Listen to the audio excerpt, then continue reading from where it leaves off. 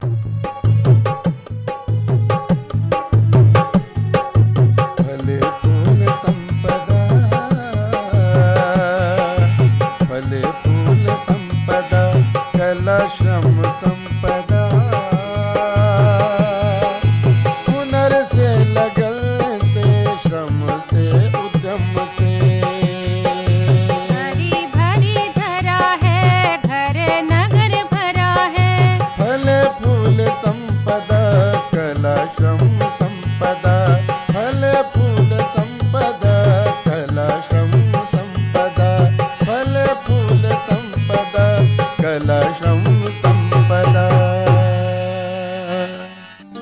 बिरंगे जोड़ के टुकड़े हमने बनाए।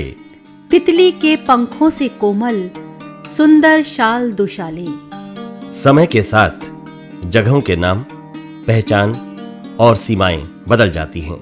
आबादियाँ वीरानों में तब्दील हो जाती हैं और अतीत के खंडरों पर आलीशान महल और किले तामीर हो जाते हैं। महाभारत काल के अहिछत्रा और पंचाल प्रदेश का गुमनाम छोटा सा गाँव, रामपुर 17वीं सदी में अफ़गानिस्तान से आने वाले रोहिला नवाबों के अधिकार में आकर हिंदुस्तान में पठान हुकूमत की आखिरी खुशहाल रियासत बन जाता है। जब कठेर के सूबेदार नवाब अली मोहम्मद खां के बेटे नवाब फैजुल्ला खां ने रुहेलखंड की हुकूमत खत्म होने के बाद 1774 में रामपुर आबाद किया। तो चारों ओर ऊँचे ऊँचे मीनार, शानदार गुंबद और आलीशान किला, बारादरियाँ और शाही महल रामपुर की पहचान बन गए किले के दोनों दरवाजों पर सुबह शाम रोशन चौकी बैठती। नक्कारे और शहनाई के नगमे फजा में गूंजने लगते। जब 1856 में अवध पर और 1858 में दिल्ली पर अंग्रेज़ों ने अधिकार कर लिया। तो हुनरमंदों और अहले कमाल के बर्बाद काफिले रोटी रोजी की तलाश में रामपुर आने लगे।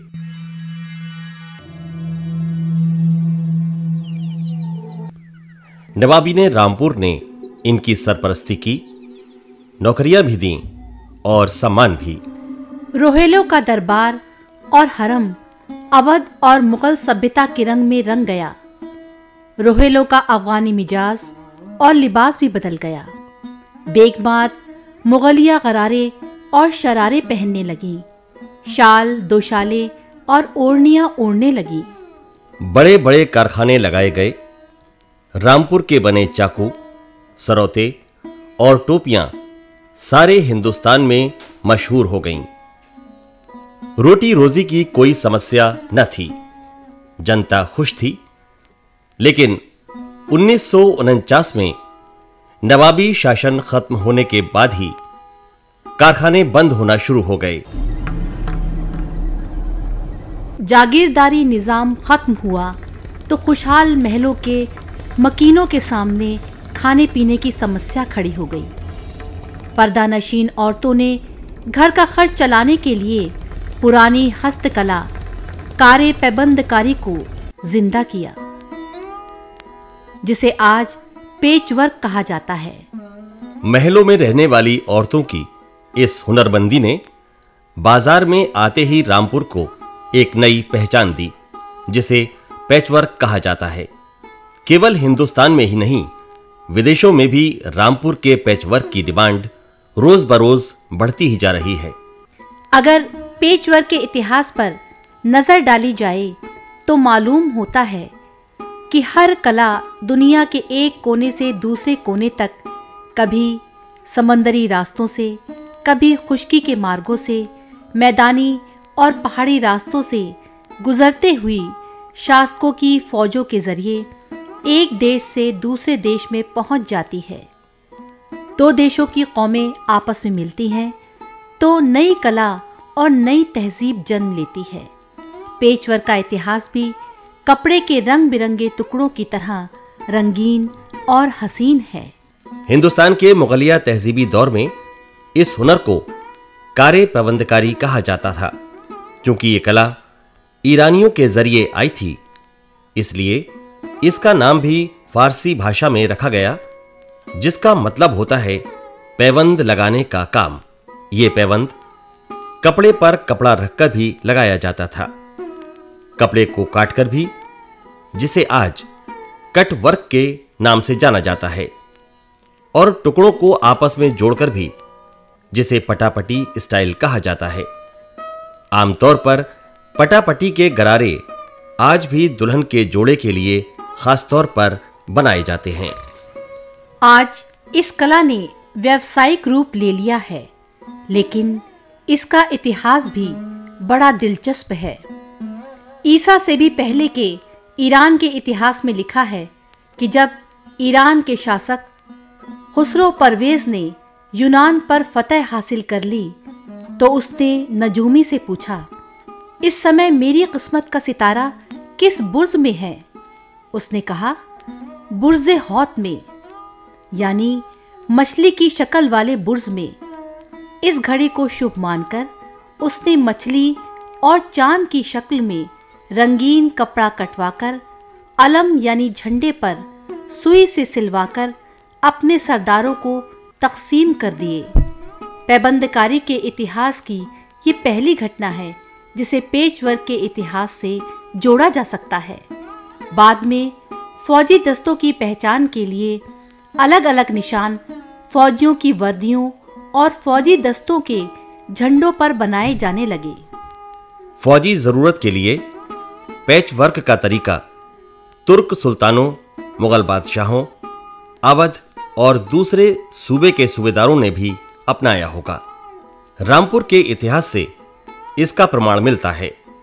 रोहेला सूबेदार नवाब अली मोहम्मद खां की सेना के बारे में सफरनामा बनगढ़ में आनंद राम मुखलिस ने लिखा है नवाब अली मोहम्मद खां की फौज का अजब निज़ाम है। फौज के हर दस्ते का अलग अलग रंगीन निशान है। अलम पर अलग अलग रंगों के कपड़ों की पैबंदकारी है। जब फौज चलती है तो लगता है जैसे गुलिस्तां चल रहा हो। बेगम नूरजहां ने मुगल सभ्यता की सरपरस्ती में बड़ा योगदान दिया है। दरबार और महलों की आराइश के लिए नई नई चीज़ें ईजाद की। कपड़े के रंगीन टुकड़ों को इस सलीके से जोड़कर लिबास बनाए कि पैबंदकारी एक पसंदीदा कला बन गई। और इसका इस्तेमाल बेगमात और शहजादियों के शाही लिबास में किया जाने लगा। धीरे धीरे पैच वर्क का लिबास सूबेदारों और जागीरदारों की बेगमात का स्टेटस सिंबल बन गया। अवध के शासकों ने इस कला में चार चाँद लगा दिए। 1856 में अवध की बर्बादी के बाद जब लखनऊ के अहले कमाल रामपुर आए तो दस्तकारी की माहिर औरतें भी आईं जिन्हें रोहेला नवाबों ने नवाबजादियों को दस्तकारी की तालीमो तरबियत के लिए हरम में रख लिया। इस बारे में जानकारी दे रही हैं बिल्किस जहाँ। हाँ मेरा नाम बिल्किस जहाँ है। आमतौर से मशहूर हूँ। मिसे दागा भी लोग कहते हैं, और मेरी उम्र इक्यासी साल, इस वक्त। हामिद अली खां के जमाने में लखनऊ से आता थे, वहाँ से बन के तभी देखते थे, और उसके बाद फिर हमने उसी से ली, दिमाग में ये आया कि जो ये पत्ती वर्क मैंने शुरू किया, ऐसा हुआ था पंद्रह अगस्त को कैसा पड़ती थी तो उनके प्रेस मिलने का सफ़ेद साड़ी पहन के अम्मी को बुला तो हमारी सास ने कहा, सफ़ेद साड़ी तो मैं नहीं बांधने दूँगी। तो अब हमने क्या करें क्या करें तो उसके बाद घर में मेहंदी का पेड़ था, उसकी पत्ती काटी बड़ी सी, खुद ही मतलब कोई नहीं, दिमाग में, वो उसकी काटी और शाख यूँ बना के वो हरी पत्ती एक इधर एक इधर एक इधर सबसे पहले बड़ी, फिर छोटी फिर छोटी। वो मैंने बॉर्डर पे बनाई, आंचल पे बनाई। जो पहन के गई तो बस ये मालूम हुआ कि मैं अगर सच्चे मोतियों का भी साड़ी बांधते या हरे जवाहरात की बांधती तो इतनी तारीफ़ नहीं हुई। बस तब से शौक हुआ, फिर मैंने बनाना शुरू कर दिया। मुगला नहीं आती थी। नवाब साहब क्या मुगला नहीं आती मेरे तो फूफी दरोगा थी, वो लखनऊ की थी। लखनऊ से ताल्लुक था मेरे दादा और फूफी और हमारे ननियाल ददियाल का लखनऊ से ताल्लुक था। था। तो वहाँ से मुगलानियाँ बुलाई जाती थी। साल साल भर बैठी हुई, उनका काम यही था, तनख्वाह मिल रही है, खाना खा रही है और ये बना रही है। लचके की पत्तियाँ बना दी थी। वो हमने पुराना सब देखा। देख के फिर तो शौक जो उठा तो फिर तो इतना उठा गए। अब तो उसके दुल्हन बानों ने एक कुर्ता बनवाया था तो वो कुर्ता मैंने अपना बनाया था। और मैं फिर परेशान हो गई कि मैं ये अब गले का नहीं बनाऊँगी। किसी ने मुझसे कहा था, खरबूजे का बीज होता है, या लखनऊ की कढ़ाई जो होती थी, उसके बराबर पत्ती बनाओ तो मैंने अपना कुर्ता बनाया था। जब मैं पहन के गई थी। उन्होंने देख के बड़ा यूँ करके इशारा के खुद पहन नहीं है, मुझे नहीं। तो फिर मैंने इनके कुर्ते चार बना के दिए। तो उन्होंने कहा, मैं बनवा लूँगी। तो पूरे रामपुर में वो फिर कुर्ते दो के नमूने का कुर्ता मेरे हाथ का बना हुआ, वो सारे रामपुर में घूम फिर के फिर मेरे पास आ गए। मैंने उनसे कहा तो कह लेंगे कि, आप पैसे तो लेते नहीं है आप उसकी। मैंने आखिर में पैसे लेना शुरू कर दिए थे। नाम भी और पैसे भी और तारीफें भी, तीनों चीज़ें। अवध के इलाके से आने वाली औरत बड़ी महजब और हुनरमंद थी। इनके आने से नवाबी हरम का माहौल बदलने लगा। पैवंदकारी की हुनरमंदी नवाबी महलों से निकलकर जिम्मेदारों और जागीरदारों में आई और फिर धीरे धीरे आम घरों में भी पहुँच गई। बेटियों का जहेज तैयार करने के लिए पैचवर्क के पटापटी के गरारे, शरारे, रजाइयाँ वगैरह सब घर पर ही तैयार होते थे। परिवार की लड़कियाँ बुज़ुर्ग औरतों की निगरानी में जहेज तैयार करती थीं। रामपुर के इतिहास से मालूम होता है कि अवध की औरतों के आने से पहले ही लड़कियों को मदरसे में कशीदाकारी यानी एम्ब्रॉयडरी की तालीम भी दी जाती थी, जिसका प्रमाण 1868 के रामपुर स्टेट गजेटियर से मिलता है। उन्नीस सौ उनचास में नवाबी दौरे हुकूम खत्म हो गया। नवाबी शासनकाल के बड़े बड़े कारखाने बंद हो गए। बेरोजगारी बढ़ी। जीविका के साधन सीमित हो गए। ज़िम्मेदारी भी खत्म हो गए तो पैबंदकारी की कला घरों से निकलकर बाज़ार में आने लगी। पहले पहले तो वो पेपर के ऊपर वो बनाते थे डिज़ाइन। फिर मैंने कहा कि ये तो फट जाते थे, वो दुकान पे जा रहे हैं। वो पसंद किया जा रहा है, ये हो रहा फिर मैंने एक एक मीटर के एक हरा और एक लाल, उस पर डिज़ाइन यही सब बना दिए कपड़े से। तो उसका नमूने जात ना, हम मज़ाक में कहते थे, एक हरा था, एक वो था। तो वो दुकान पे चला जाता था, नंबर एक, दो, तीन, चार, पाँच, जो कोई भी दुकान पे पसंद करता था। तो वो नंबर तीन के बेल डाल दो, नंबर चार के। मेरे पास अभी बहुत से डिज़ाइन है और बहुत लोग ले गए जैसे मिसाल के तौर पे पत्ती वर्क और पैच वर्क की बात नहीं है। ये भी लखनऊ से चला, पटापटी चली, लौदात चली, ये भी मुगलानिया करती थी तो हम कहते थे, हम हम क्यों नहीं? उसके मुख्तलिफ़ नमूने हैं। हम उसकी पट्टियाँ बनाते हैं पहले तो। रेशमी ज़्यादातर बनती थी। जैसे करारे की गोट है, रजाइयों की गोट है, इसकी गोट है, उसकी गोट है। पट्टियाँ उसकी बनानी, कपड़ा हमें मालूम है कि एक एक मीटर का, चार मीटर में गोट बनती है। चार रंग की लेके उस एक नाप की, चौड़ाई की पट्टियाँ पहले जोड़नी और फिर उसको आड़ा और रेप करके हमने उसे काट लिया तो वो बन जाती थी पटापटी बन जाती थी। छोटे छोटे से पीस हमने काट के उसको मुख्तलिफ़ डिज़ाइन, ये मुझे दिमाग खराब हुआ था। कपड़े रोज झाड़ू में जाते थे, फेंकते थे हम, खिड़की में से देखा करते थे।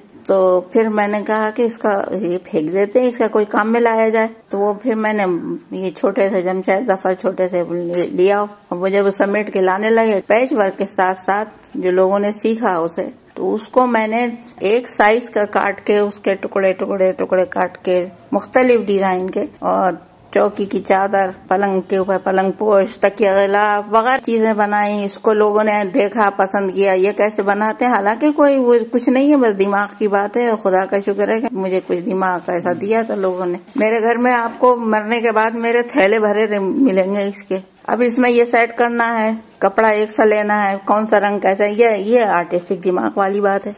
बाहर से आए हुए रामपुर में रहने वाले लोगों ने जब पेच वर्क के लिहाफ रजाई, बेडशीट मेज पोश वगैरह को देखा तो उन्हें ये नया काम पसंद आया।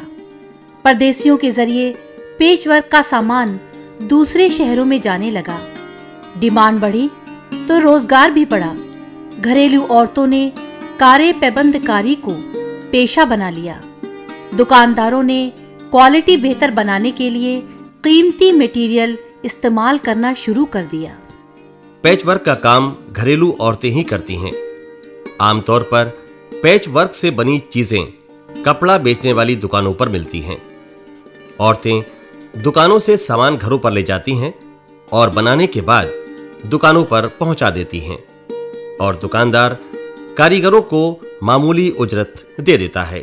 मैं मुजाहिद खां हादी निवासी बदरिया हिम्मत खां। हम पैचवर्क के बारे में बहुत पुराना हम काम करने वाले हैं और अनेकों बार हमने जगह जगह दिल्ली हाट पे एग्जीबिशन लगाई है और इसका, इस कुछ सालों पहले बहुत अच्छा पैमाने पर काम कर रहे थे। परंतु अब खेत के साथ कहना पड़ रहा है कि कारीगर को हम उसकी उजरत दे पाते हैं, ना उसकी कला की तारीफ़ कर पाते हैं। इसलिए कि जब जैसे जैसे काम हिस्सा हिस्सा काम अभी डूबने के कगार पे है। ना सरकारी सहायता मिल पाती है और अनेकों बार हमने प्रयास भी किया इसका। हमारा जिला उद्योग केंद्र में इसका पंजीकृत है। जैसे मैंने बरेली में, मैंने दिल्ली हाट पे, मैंने नैनीताल में और मैंने स्टेट फेयर में अपनी कला का प्रदर्शन करते हुए स्टॉल लगाए हैं और बहुत बहुत भारी भारी लोगों ने अपनी विज्ञप्तियाँ भी हमें हमारे लिखित रूप में दी हैं और उनको हमारी कला की तारीफ़ करी है परंतु अब हम ऐसे स्थिति में है कि ना तो हम कारीगर को कारीगर की उजरत दे पाते हैं और ना उसको जो उसकी मेहनत होती है, जो उसकी, उसको मिलना चाहिए, नहीं मिल पाता। इसी वजह से हम बहुत मद्दी में चले गए हैं और काम ये एक तरीके से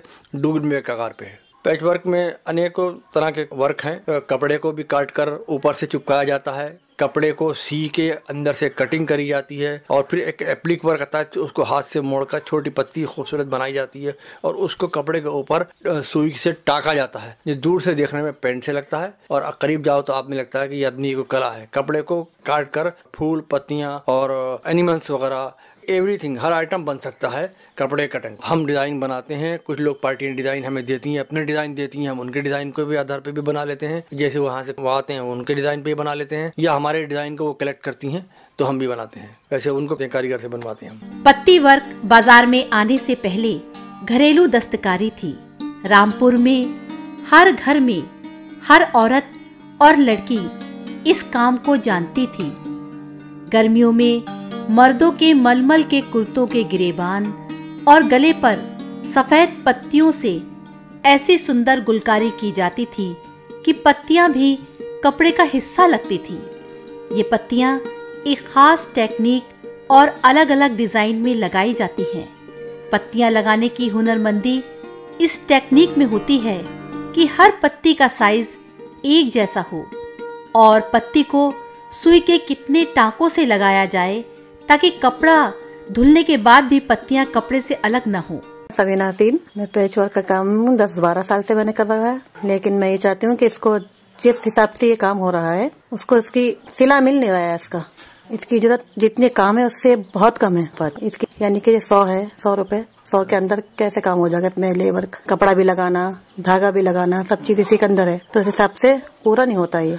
पेच वर्क जो बड़ा कपड़ा काट के पेच लगाया जाता है। उसमें काफ़ी टाके लिए जाते हैं। और छोटी पत्ती जो है, उसमें चार या छह टाके लगते हैं। वो छोटी पत्ती होती है। तकिए के गिलाफ मेजपोश, टिकोजी कवर या और छोटे कपड़ों पर फूल, पंखड़ियों या ज्योमेट्रिकल डिज़ाइन कट वर्क से बनाए जाते हैं।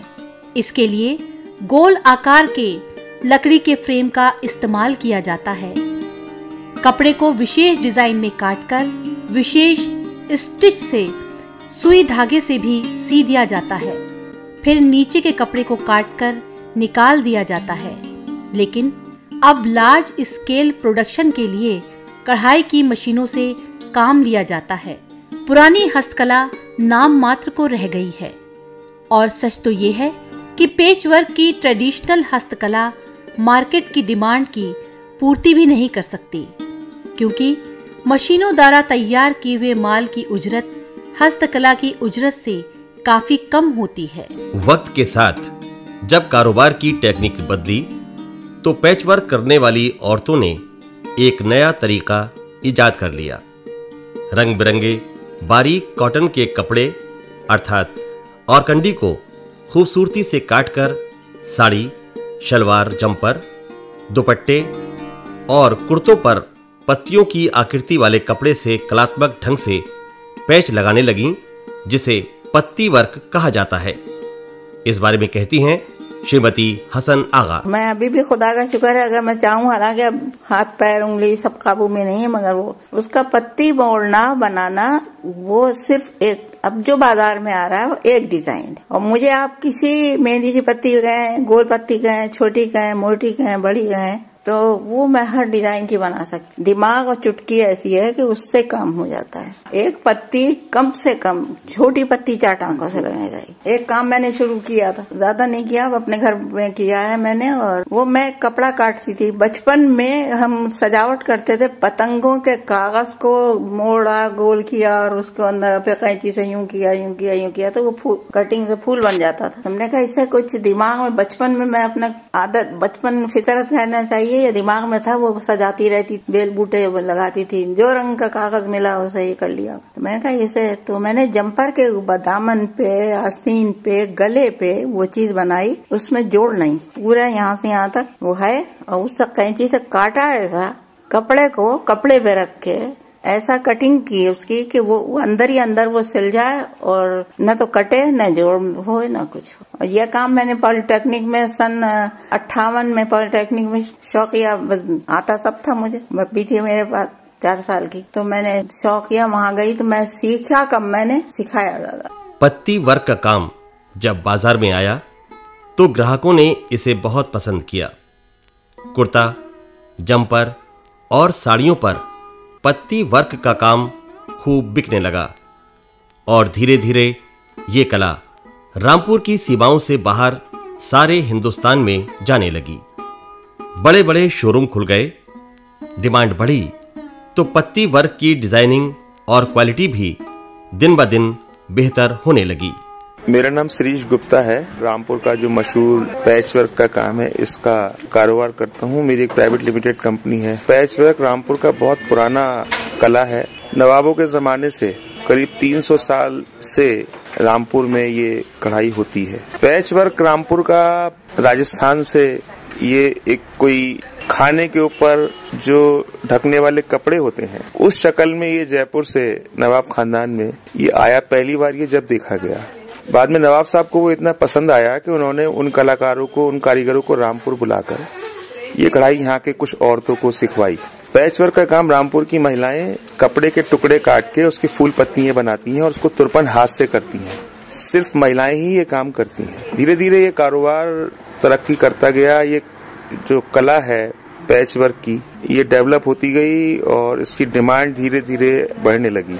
लेकिन चूँकि कारीगरों की काफ़ी कमी थी एक एक ड्रेस को देने के बाद महीनों महीनों उसका इंतज़ार करना पड़ता था।